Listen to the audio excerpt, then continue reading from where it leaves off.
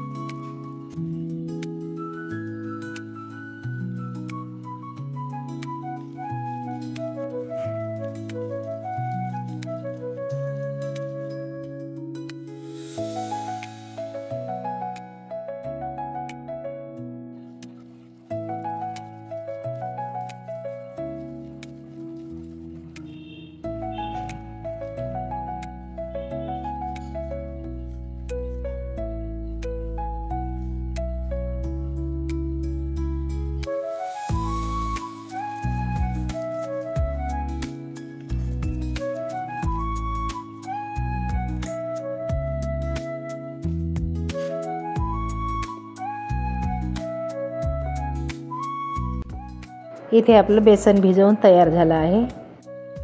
मला दोन ग्लास बेसन भिजवण्यासाठी पावणे दोन ग्लास पाणी लागलं आहे. इकडे आपण गॅसवरती तेल गरम करायला ठेवू. इथे मी बु बारीक बुंदी पाडण्यासाठी झारा घेतला आहे. त्यामध्ये आपण बेसन टाकून पाहू. आणि झाऱ्याला थोडंसं ठोकून बघू बुंदी व्यवस्थित पडते की नाही तर. झाऱ्याला ठोकूनसुद्धा बुंदी पडत नाही आहे याचाच अर्थ आपलं बेसन थोडं घट्ट आहे.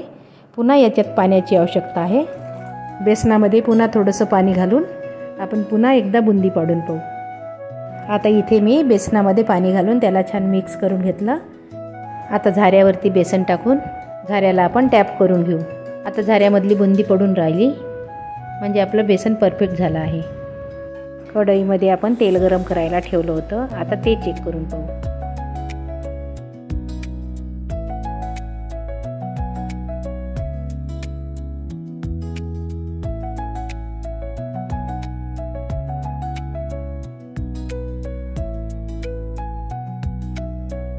तेल चांगलं गरम झालं आहे. आता आपण बुंदी पाडायला घेऊ.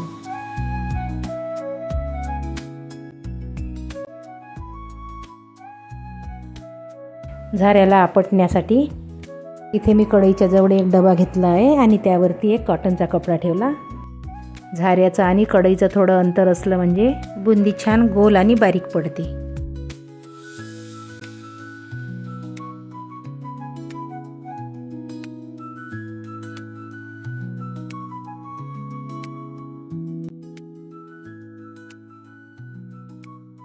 बेसनामध्ये पाण्याचं प्रमाण जास्त असते म्हणून तेल चांगलं गरम असलं पाहिजे. सुरुवातीला बुंदी पाडताना गॅस मोठाच ठेवायचा म्हणजे बुंदी छान गोल आणि दाणेदार होईल. तेल चांगलं तापलं नाही तर बुंदी तळाला जाऊन बसेल आणि चापट होऊन त्याला तेल पकडून राहील. बुंदी पाडल्यानंतर बुंदीवरती असा फेस असते आणि तो फेस कमी झाला त्याचे बुडबुडे कमी झाले की मग लगेच आपण बुंदी काढून घेऊ. बुंदीचा कलर बदलून त्याला करकरीत होऊ द्यायचं नाही. बुंदीमधले बुडबुडे कमी झाले आहे म्हणजे आपली बुंदी छान तळल्या गेली आहे. आता आपण ही बुंदी झाऱ्याने काढून घेऊ.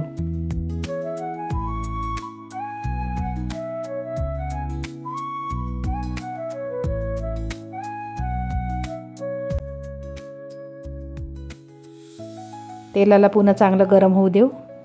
आणि झाऱ्यावर मी दोन तीन चम्मच बेसन घालून घेतलं आहे. आता त्याची आपण बुंदी पाडून घेऊ.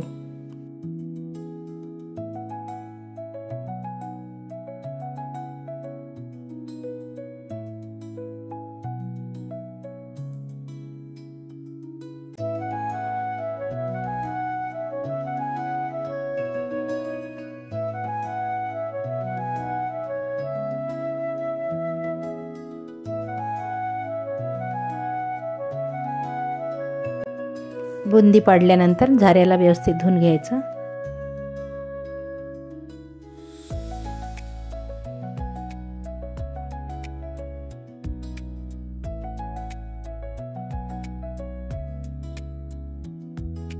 अशा प्रकारेच आपण सर्व बुंदी पाडून घेऊ.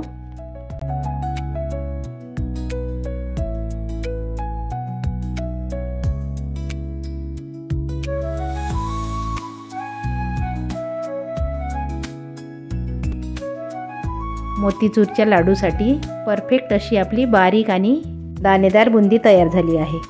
आता आपण पाक बनवायला घेऊ. पाक बनवायला मी दोन ग्लास साखर घेतली आणि एक ग्लास पाणी घेतलं. म्हणजे आपण दोन ग्लास बेसन घेतलं होतं. त्या मापाने दोन ग्लास साखर घेतली. आणि त्याच्या अर्ध म्हणजे एक ग्लास पाणी घालून घेतलं आहे मी. आता हे मिश्रण आपण साखर विरघळेपर्यंत ढवळत राहू.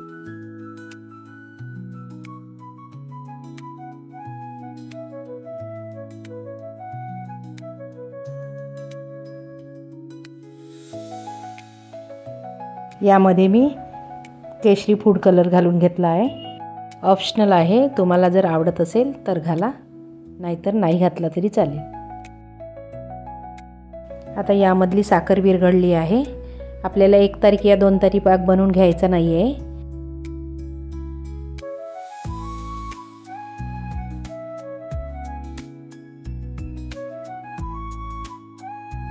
आता याला आपण एक उकडी काढून घेऊ. आणि गॅस मंद आचेवर करून तयार केलेली बुंदी घालून घेऊ. आता ह्या बुंदीला मंद गॅसवरती पाकामध्ये दाटसरपणा येतपर्यंत ढवळत राहू.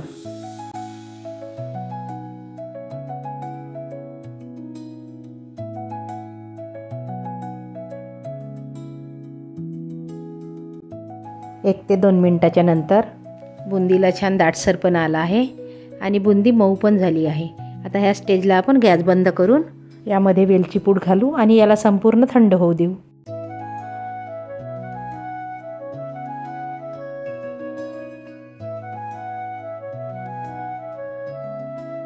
थंड होण्यासाठी मी हे मिश्रण परातीमध्ये काढून घेतलं आहे.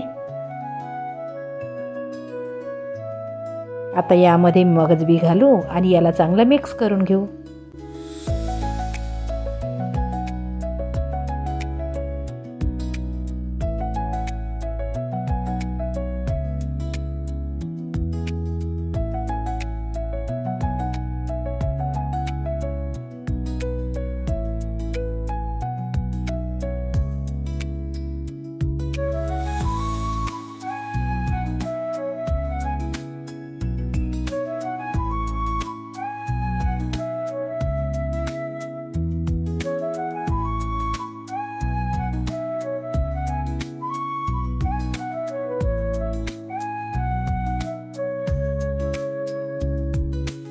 मिश्रण चांगलं थंड झालं आहे आणि हे सेट होण्यासाठी मला अर्धा तास लागला आहे. आता याचे आपण लाडू वडून घेऊ.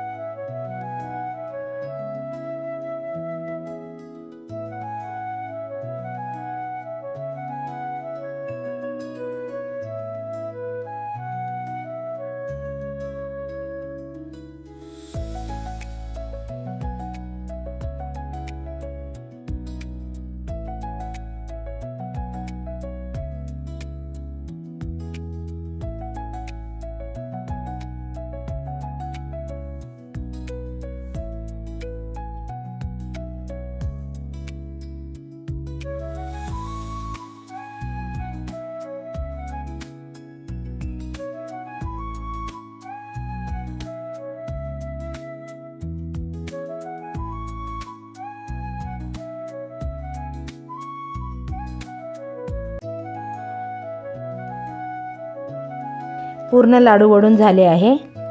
बापरे मोतीचूरचे लाडू कसे बनवायचे? मनामध्ये धाकधूक होते. पण तुम्ही नक्की एकदा ट्राय करा. तुम्हाला पण जमेल. कशी वाटली ही मोतीचूरच्या लाडूची रेसिपी?